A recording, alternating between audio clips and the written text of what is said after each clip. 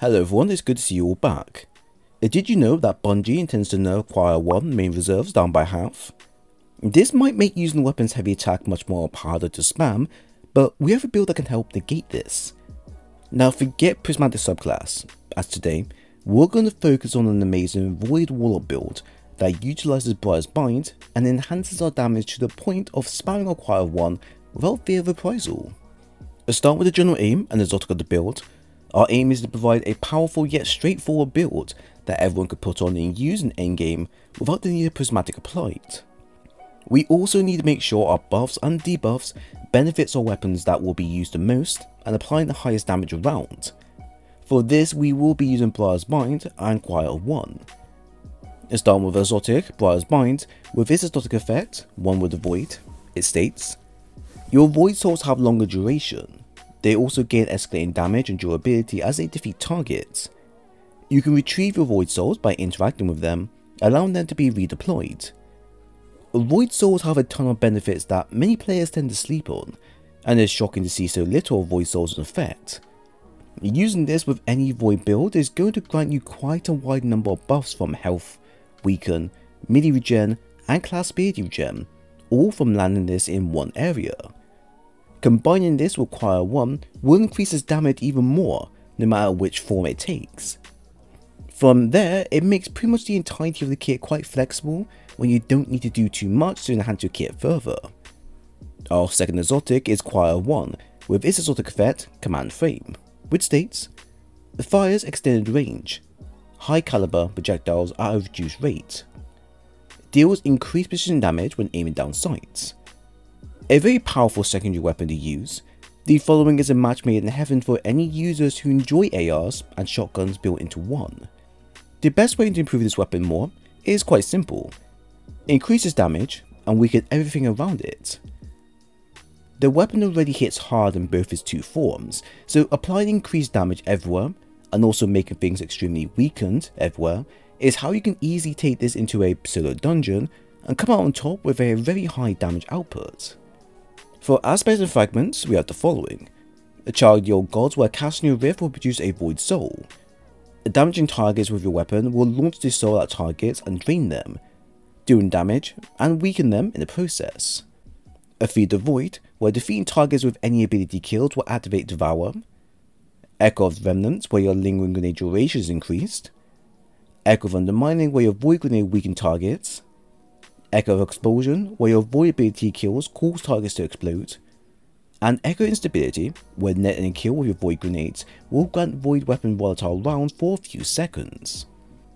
Since void is excellent when it comes down to applying damage and staying alive, this will easily allow players to survive for longer without the need or support from teammates. As Choir 1 already has good damage to boot, it will suffer the most from lack of ammo being available at times, and although having higher reserves and final mods can help, this is also heavily RNG, so it's not always the best case of getting them when needed. With this in mind, I have added a few things to this area to help it further. Charlie or Gods will allow us to kill much faster against enemies, which our weapons can easily clear up in seconds. We will also get a buff doing so, so it's 100% worth the investment for the long run. Echo of Undermining will allow grenades to weaken targets effectively, and combining this with Feed the Void means we can constantly and consistently debuff everything around us as long as we refill our grenade energy as we go along. Lastly, instability is a huge one as this can be kept active as long as possible as long as our grenade net kills. This alone will make dealing with bosses and mini bosses so much more easier that by the time we are done with them, we will either have no ammo left but the enemy is dead, or the boss will have a silver of health left just to fight.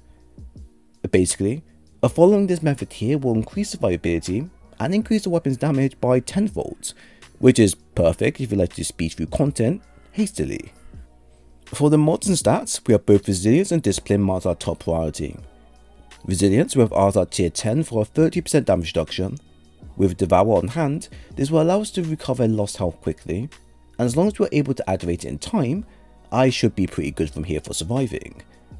I've also added the concussive dampener mod this time round as a recommendation from a viewer in terms of adding more resistance based mods. This is useful in GMs as the number one thing that kills most players is actually splash damage effect, rather than the indirect damage. This here should enhance our build further. The discipline we have ours at tier 10 for a 1 minute 16 cooldown via Vortex Grenade. Vortex are great for ad clearing and applying consistent damage to anything touched by it. With Echo Undermining and instability at play, our grenades and weapons become more lethal when the stars align. At the same time, the extra damage being applied to bosses will make Echo of 1 on their heavy weapon deal way more damage than anything we have run before via Void Base, which is great for long term investments. Since grenades are easily built into, having the following mods will help support the rest of the kit as follows. Impact Induction times 1 for a 12% grenade buff, Momentum Transfer times 1 for a 12% melee buff, Bolstering Detonation times 1 for a 12% class ability buff, and Distribution for a 4% all ability buff will be suitable for the build. Additional mods we have the following. Void Siphon for creating orbs of power via void weapons, Charged up times 1 for increasing the maximum stack of armor charges by plus 1. Void Weapon Surge times 1 for a 10% Void Weapon buff. Void Holster times 1 for an automatically reloading our Void Weapons after stowing them. Powerful Attraction for automatically collecting of power when using our class ability. And Special the Heavy Finder, Reserves, and Scavenger ammo mods are highly recommended for the Void weapons we are currently using. We also have special ammo finisher mod which is handy to have on hand if you intend to use secondary effects require one quite a lot. And since it's getting a nerf, I do think this is much more required more than ever. As we have covered our exotic secondary weapon, I would then advise you to pick some suitable weapons for the build. These are all optional, but do hold some benefits towards the build. A primary, we have this Might of Moraine with Firefly and Pugilist.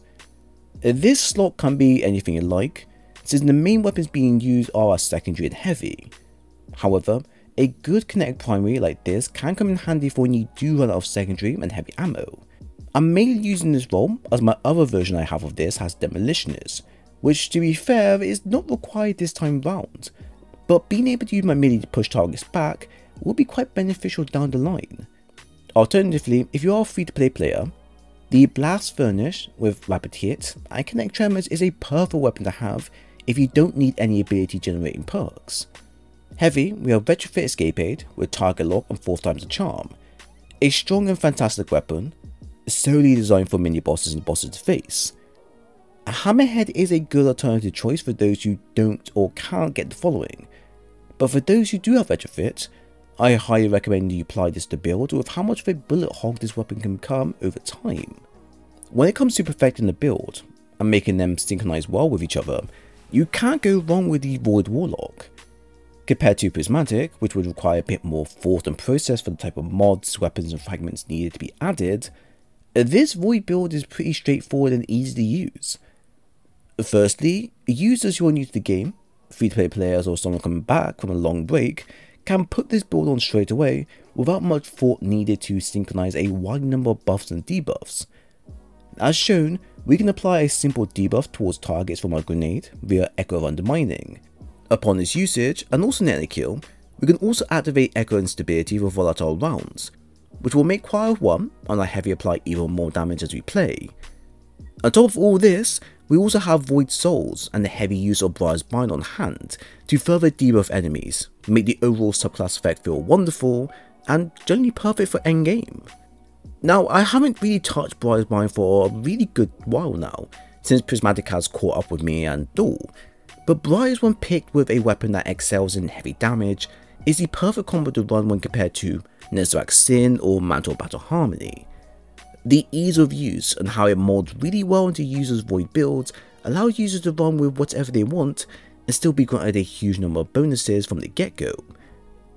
While Prismatic Choir 1 offers more choices to users, the Void version is simple and straight to the point, something that I believe many players appreciate when build crafting in any sort of way. So, give this build a try, and let me know if you like it. So there we have it, I hope you all enjoyed the build breakdown. If you have any thoughts and content shared, then please leave a comment below. While if you enjoy the content and want more of these videos, then leave a like and a sub while you're here. The dim link for the build is located below in the pin section, and I do advise you to check out my playlist for more.